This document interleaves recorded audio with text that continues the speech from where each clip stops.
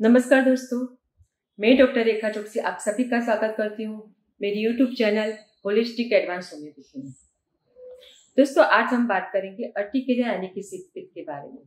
Urticaria क्या है, किस वजह से होता है, उसके सिम्टम्स क्या है, और अंत में मैं आपको बताऊँगी कि अगर छोटे बच्चों में ये प्रॉब्लम है तो कौन सी होम्योपैथिक मेडिसिन दी जाए ताकि बच्चों को परमानेंटली ठीक हो जाए।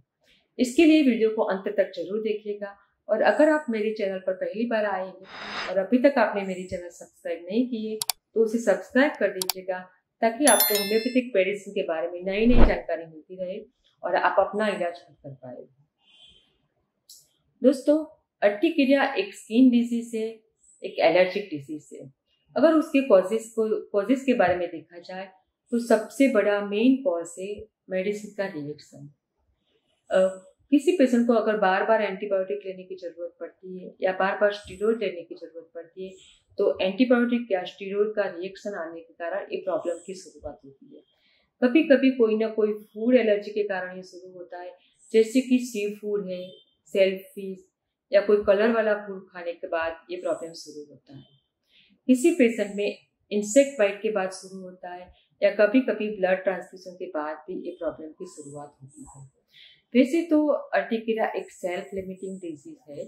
मतलब कि ये अपने आप ठीक हो जाता है, लेकिन किसी किसी पेशेंट को ये अपने आप ठीक नहीं होता है और ये बार बार होता ही रहता है। अर्टिकेरा के सिम्टम्स अगर देखा जाए तो सिम्टम्स में पूरे बॉडी पर रेड रेड बहुत बड़े बड़े रेड रेड पैचेस हो जाते हैं। उसमें बहुत ही ज़्यादा खुजली होती है, बहुत ज़्यादा जलन होती है। कभी कभी तो आँखों पे भी सूजन आ जाती है लिप्स पर सूजन आ जाती है, बहुत बड़े बड़े पैचेस आ जाते हैं। और बहुत ज़्यादा खुजाने के बाद कभी कभी उसमें से ब्लीडिंग भी शुरू हो जाता है।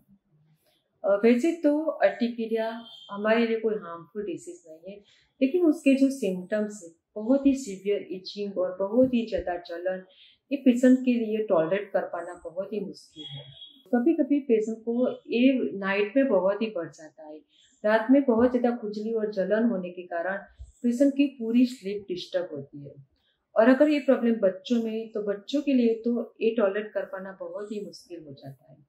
मुझे याद है लास्ट ईयर मेरे पास एक पेशेंट आया था, दस साल का बच्चा था।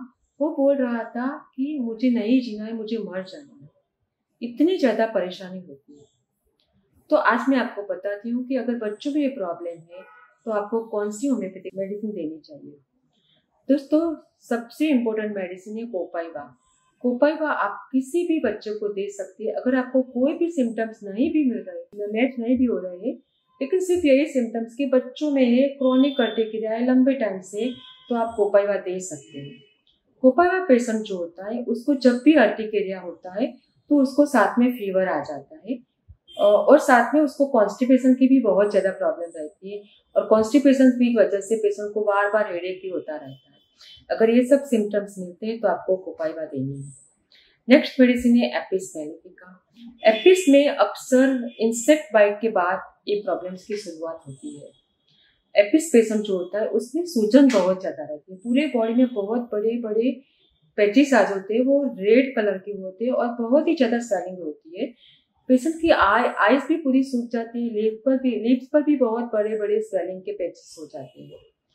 और पेशेंट को स्टिंगिंग पेन बहुत ज़्यादा रहता है। स्टिंगिंग पेन मतलब कि जैसे कोई इंसेक्ट बाइट करता है जैसे हम नीडल प्रिक करते हैं तो इस तरह उस तर, उस टाइम जो पेन रहता है इस तरफ़ का पेन रहता है पेशेंट को। और पेशेंट को गर्मी में बहुत बढ़ जाता है प्रॉब्लम जरा से भी गर्मी लगने के बाद उसको प्रॉब्लम बढ़ जाता है। पेशेंट को खुजली भी बहुत ज़्यादा होती है जलन बहुत ज़्यादा होती है और ठंडे पानी से धोने से पेशेंट को आराम आता है। पेशेंट का स्वभाव भी बहुत चिड़चिड़ा हो जाता है।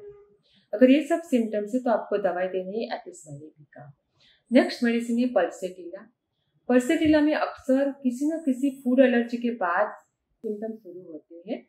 कभी कभी पेशेंट ने अगर सी फ़ूड खा लिया या फिर कोई कलर वाला फ़ूड खा लिया तो कोई रिच फ़ूड खा लिया ऐसे फ़ूड खाने के बाद पेशेंट को प्रॉब्लम की शुरुआत होती है। जब भी पेशेंट को अर्टिकेरिया होता है तो पेशेंट को साथ में डायरिया भी होता है और पेशेंट को गर्म गर्म चीज़ों से प्रॉब्लम बढ़ जाती है और कुछ ना कुछ ठंडा खाने पीने के बाद पेशेंट को आराम मिलता है। या तो फिर उसको ठंडा पानी से धोने से भी पेशेंट को बहुत आराम मिलता है। अगर ये सब सिम्टम्स है तो आपको दवाई देनी है पल्सेटिला लास्ट मेडिसिन है अर्टिकल्स अगर किसी पेशेंट में अर्टिकेरिया के साथ साथ अगर यूरिक एसिड भी बढ़ा हुआ होता है तो आप अर्टिका दे सकते हैं।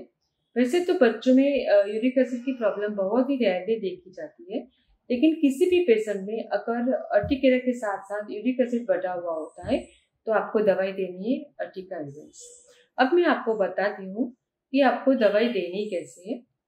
आपको थर्टी या टू हंड्रेड पोटेंस में पहले पाँच गोली एक बार दे देनी है। उसके बाद अगर ज़रूरत पड़े तो पाँच गोली पानी में डाइल्यूट कर आपको उसको एक एक चम्मच पानी दिन में दो या तीन बार देना है। अगर ज़रूरत पड़े तो बाद में आप उसे वन एम पोटेंस में भी दे सकते हैं। वैसे तो इस मेडिसिन से बहुत सारे पेशेंट्स को परमानेंटली ठीक हो जाते हैं। लेकिन कभी कभी किसी पेशेंट्स को परमानेंटली ठीक नहीं होता है तो उसके लिए हमको पेशेंट की कॉन्स्टिट्यूशनल मेडिसिन देनी पड़ती है। और कॉन्स्टिट्यूशनल मेडिसिन निकालने के लिए हमें पेशेंट की पूरी हिस्ट्री डिटेल में लेनी होती है। पेशेंट की लाइक्स क्या है डिसलाइक क्या है, उसके नेचर कैसा है, वो सब पूछकर पेशेंट की कॉन्स्टिट्यूशनल मेडिसिन निकालते हैं। और उसके बाद जो मेडिसिन देते हैं, उससे पेशेंट को परमानेंटली ठीक हो जाता है। उम्मीद है मेरा ये वीडियो आपके लिए बहुत ही यूजफुल रहेगा। Thanks for watching have a good day